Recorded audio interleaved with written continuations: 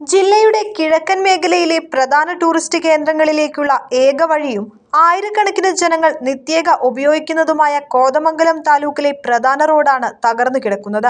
മലയൻകീഴ് പുന്നേക്കാട് റോഡിന്റെ നിർമ്മാണ പ്രവർത്തനങ്ങൾക്ക് അഞ്ചു വർഷം മുൻപാണ് തുടക്കമിട്ടത്. റോഡ് ടാറിങ്ങിനൊപ്പം കലുങ്കുകളുടെയും കാനകളുടെയും നിർമ്മാണ പ്രവർത്തനങ്ങളാണ് നടന്നുവരുന്നത്.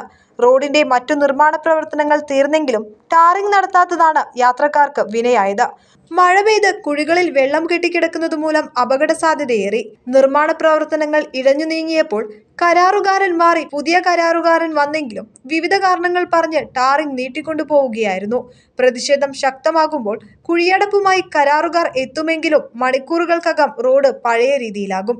വിവിധ രാഷ്ട്രീയ പാർട്ടികളുടെ ശക്തമായ സമരങ്ങൾ ഇവിടെ അരങ്ങേറിക്കഴിഞ്ഞു കഴിഞ്ഞ ദിവസം രാത്രി പൂഴിമണ്ണിട്ട് റോഡിലെ കുഴിയടക്കാനെത്തിയ അധികൃതർക്കെതിരെ കോൺഗ്രസ് യൂത്ത് കോൺഗ്രസ് പ്രവർത്തകരുടെയും നാട്ടുകാരുടെയും നേതൃത്വത്തിൽ പ്രതിഷേധിച്ച് അപകടങ്ങൾ പെരുകിയ സാഹചര്യത്തിൽ എത്രയും വേഗം റോഡ് പണി പൂർത്തിയാക്കണമെന്ന് പ്രദേശവാസിയായ ബേബി പറഞ്ഞു.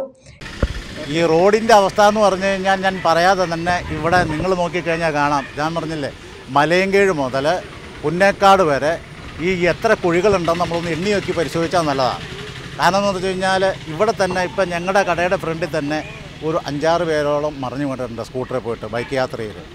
അത് വളരെ ബുദ്ധിമുട്ടാണ് മഴയുള്ള സമയത്താണെങ്കിൽ തീറാണ് എന്നാൽ കരാറുകാരുടെ അനാസ്ഥയാണ് റോഡ് പണി ഇഴഞ്ഞു നീങ്ങാൻ കാരണമെന്നാണ് പൊതുമരാമത്ത് ഉദ്യോഗസ്ഥരുടെ വിശദീകരണം. Enlight news Kothamangalam.